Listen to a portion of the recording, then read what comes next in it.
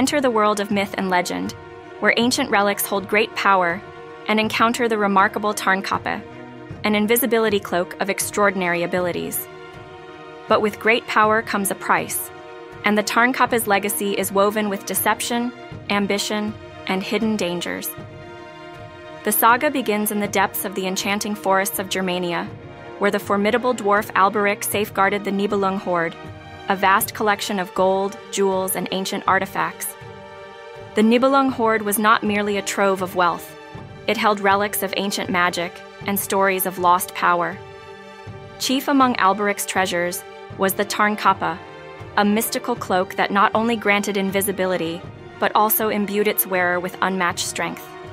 Under its shadow, Alberich protected his hoard, using the cloak's magic to outwit and overpower any intruder. Rumors of the Hoard's wealth and the legendary cloak traveled far and wide, spreading whispers of its allure and unmatched power. But Alberich's cunning and strength could not shield him from Siegfried, a young and bold warrior known for his unyielding spirit. Siegfried was no ordinary warrior, renowned for his courage and unmatched prowess.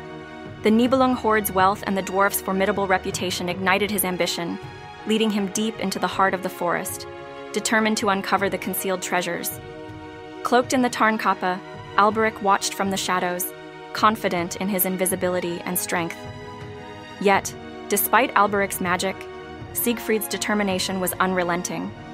In a fierce struggle, Siegfried fought not only against Alberich's physical strength, but also the illusions cast by the Tarnkappe with unwavering courage and skill, Siegfried overpowered Alberich, ripping the cloak from his grasp and claiming its power for himself.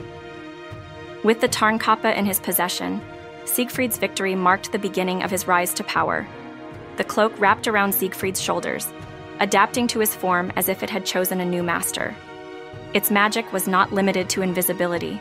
Siegfried could feel its power strengthening his limbs and sharpening his senses. With each act of secrecy, Siegfried felt the cloak's whispers, an insidious voice urging him to press further, to seize what lay beyond reach. Empowered by the Tarnkappe, Siegfried could now navigate unseen, observe without detection, and operate with impunity.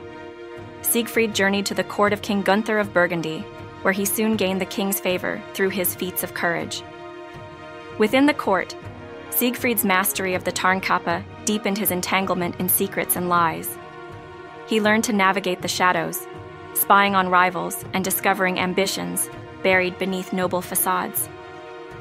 The cloak's magic gave him the edge to uncover the weaknesses of his enemies, but each deception left a lingering doubt in his mind, a reminder of the cost of hidden strength. It was at King Gunther's court that Siegfried encountered the proud and formidable Queen Brunhild. She had declared that only the man who could defeat her in combat would win her hand, and many had tried and failed.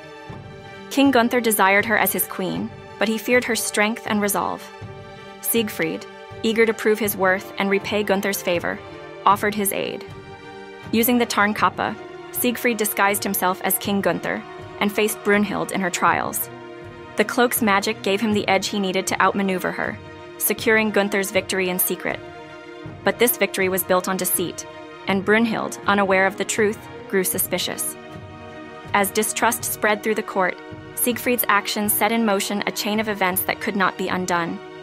Brunhild's growing unease and the hidden tensions within the court threatened to unravel everything Siegfried had achieved. The whispers of the Tarnkappe, once offering promises of power, now echoed with the consequences of betrayal. Siegfried's victory over Alberich had brought him to new heights, but it had also bound him to the cloak's dark promises. The Tarnkappe assisted Siegfried's rise to power, which ultimately brought about his downfall.